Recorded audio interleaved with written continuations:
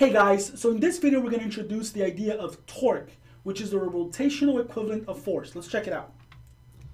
Alright, so you can think of torque as a twist that a force gives an object around an axis of rotation.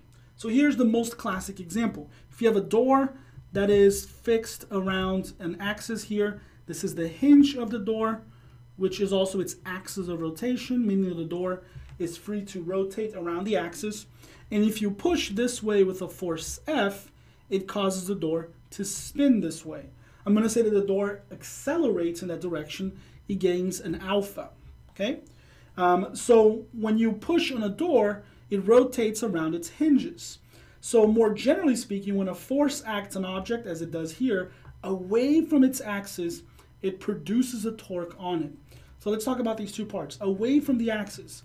If you push on a door here, it doesn't actually cause spinning. I'm going to say alpha equals zero, right? If you try to push a door by pushing on its, if you try to open a door by pushing on the hinge, it doesn't spin. You have to be away from the axis of rotation. And then it produces a torque. So this is the idea that a force causes a torque, which causes an acceleration, okay? So what you're doing, you're not doing, you're not uh, producing a torque, you're producing a force, which then results in a torque um, on that object, okay? So now the other point is that a force may produce a torque. We already talked about how if you push here, it doesn't cause it to rotate, so you don't produce a torque. So force may or may not produce a torque, and a torque may or may not produce a rotation, an angular acceleration. Um, and that's, let's say, if you're pushing this way, but then someone else, um, F2 is pushing this way, and these two cancel out. In that case, you wouldn't really produce them. Okay, but the most important point I want to make is that you have F produces a T, which produces an alpha. That's the sequence. Okay, and we just talked about this. Let's fill it in here. Similar to forces cause linear acceleration. Remember, sum of all forces equals ma. Uh, sum of all forces, as long as you have a, a net force, you're going to have an acceleration. It's the same thing with torques. Torques cause angular acceleration. We're not going to talk about that just yet, um, alpha. We're going to talk about this a little bit later. Okay. Now, another difference between torque and force is that force is a straightforward number. If I tell you you push with 10, that's the end of it. But for torques, torque depends on how hard you push, it depends on how far you push, and some other stuff. So uh, we actually have an equation for torque. You don't have an equation for force, you're given a force, but for a torque you have to calculate it. And it is Fr sine of theta. Fr sine of theta. Where F is the force you push with, it's a vector. R is a vector, it says here R is a vector from the axis of rotation to the point where the force is applied. Remember, little r in most rotation problems has to do with distance from the center. It's the same thing here, okay? Now, theta, theta is the angle between these two vectors. See these two vectors right here, f and r? Theta is simply the angle between those two guys. Theta, whoops, f and r. I meant to put an f and an r. And one thing I like to do is I like to think of like an arrow pointing towards these two guys here, right? And that's to remind me that in that equation, the theta is the angle between the F and the R, the two guys that are hanging out next to the theta, okay? Theta is the angle between these two guys. Now, the unit for force is newtons. The newton for the units for distance R is meters. So a torque is measured in newton times meter. Okay, that's the units for torque.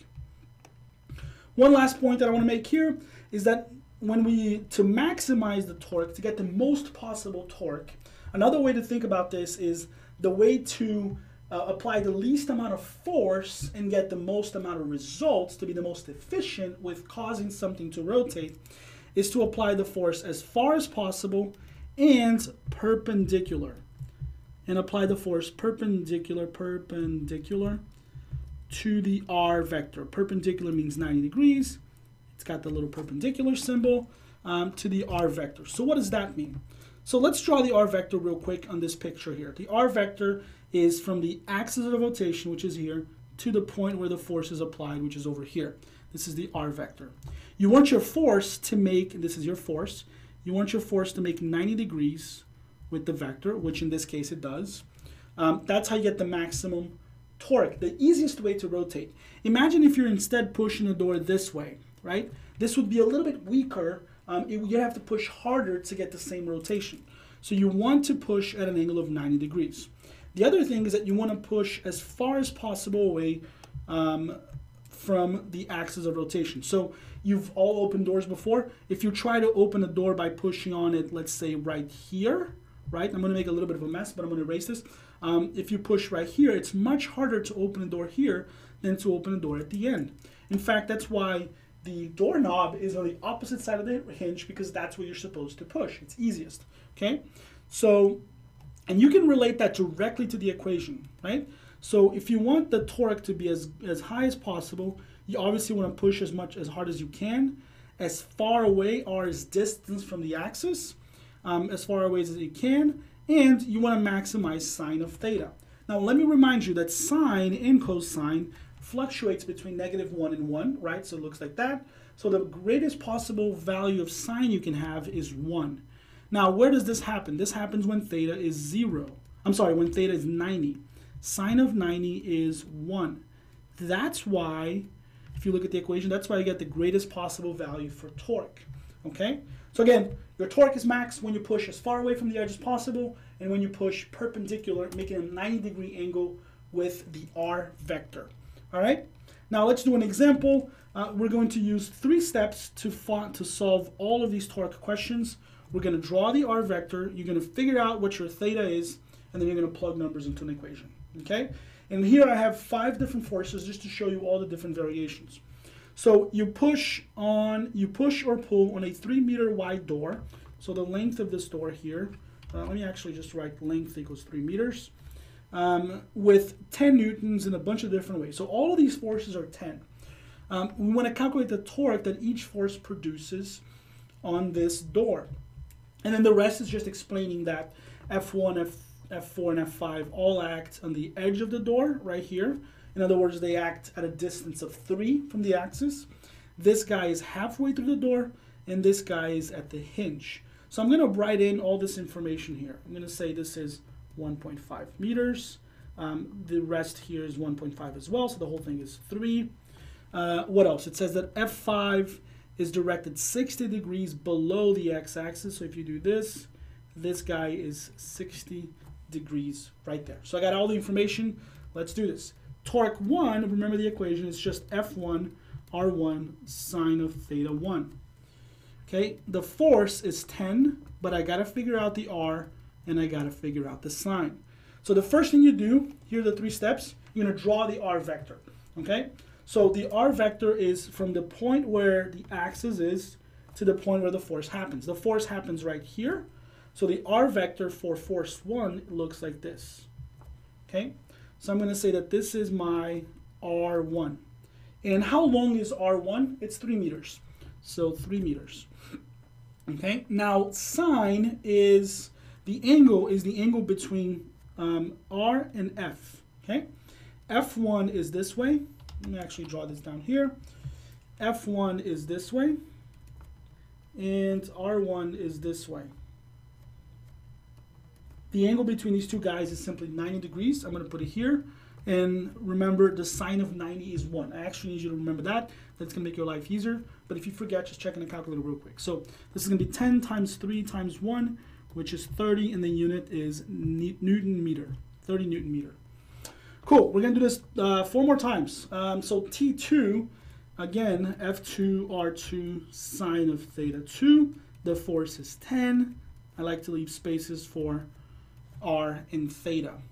So what do you think the r is here, right? So what would the r vector look like? I want you to draw that real quick and tell me how long that r vector is. And I hope you're thinking that it is 2 meters, sorry, 1.5 meters, um, because it's just half, right? So R2 looks like this. This is R2. I'm going to draw it down here so I don't make a huge mess. Um, actually, let me put it here as well. R2 looks like that. Okay. And the force is F2 right here. And the angle between them is also 90 degrees. Okay. Now we'll talk a little bit more about angles because there's some places where it might get confusing, but for now we're just going to keep going. If you multiply everything, the answer is 15 newton meter. So right away you see how when you pushed farther, which was in the first uh, situation, you got a bigger torque than when you pushed uh, closer to the edge. All right, let's keep going. What about torque 3? F3, which is 10 r sine of theta. What do you think the r vector looks like here, and what do you think the length of the vector is? So I hope as you're thinking about this, you're thinking, well, if you push at the hinge, it doesn't really move at all, so the torque should be zero. There is no, you're not producing anything that causes acceleration. You're not causing acceleration. And that's correct. And that's because the r vector is going to have a length of zero, okay? The r is the distance between, you can't even draw it. It would look like this, right? That this is like your r3, it's a dot. Because it's from the axis of rotation, which is here, to where the force acts, which is also here, so there's no distance because it's the same two points. Okay. In that case, it doesn't even matter what the sine is. You can't even do technically draw a sign because there's no arrows to um, there's no arrows for you to figure out what the angle between them is. Um, so it doesn't matter. This is just zero, and that's because you act on the axis. Whenever you act on the axis, torque is zero. End of story. Okay. Now, what about torque four? It's 10 r sine of theta. What do you think the r vector here is? So, and how long is it? Right? So the r vector for 4, 4 acts over here, so the r vector is the same one as this guy here. This is r1, and this is the same as r4. The length of this vector is the entire length of the door, which is 3. So far, so good. What about the angle? Right? What do you think you put for the angle? And do you think there's a torque here? Um, so the second question might be easier to answer. If you pull on a door in the direction of F4, the door doesn't move side, the door doesn't open or close, right? The door doesn't spin. So you should expect that the torque is zero. And it is actually zero. But the reason why that happens in terms of the equation, um, you can see this in the equation, it's because your R vector looks like this. This is R4, and this is your force 4, okay? The angle between these two guys is zero degrees. They're both going in the same direction, right? Um, if you got this wrong and you thought that the angle is 180, that's okay, you get the same answer.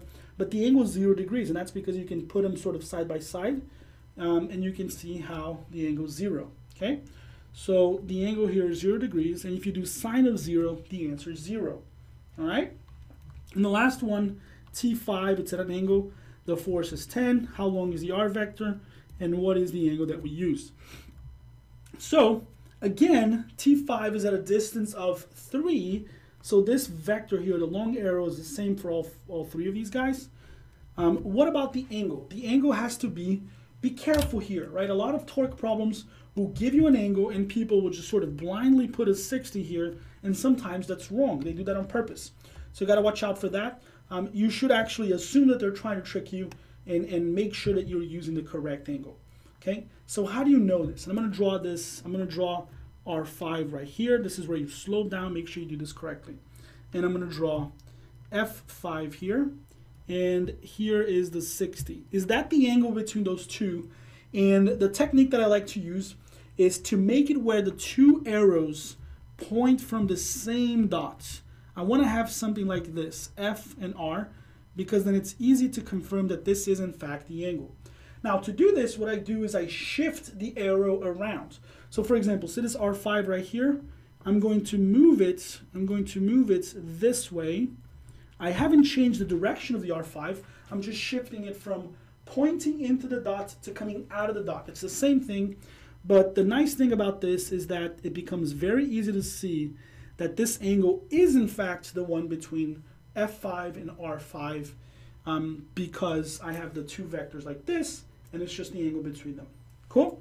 So sometimes you're going to do a lot of this shifting um, to make sure that the angle that they gave you was the correct angle. Okay? Um, so for example, if they had said 30 here, it wouldn't be the correct angle. The correct angle is instead the angle between the R and the F, which is 60. So that's good. Sine of 60 goes here. Um, the And then if you multiply this whole thing, you get 26, I'm rounding it, 26 Newton meters as the answer. Cool? It's really important you know how to calculate torques. You should make sure you understood this and you can do all, all five of these things on your own. All right, well, this is just the beginning. We're gonna do a tons more, ton more stuff, but you gotta make sure you know how to calculate basic torques. Let's keep going.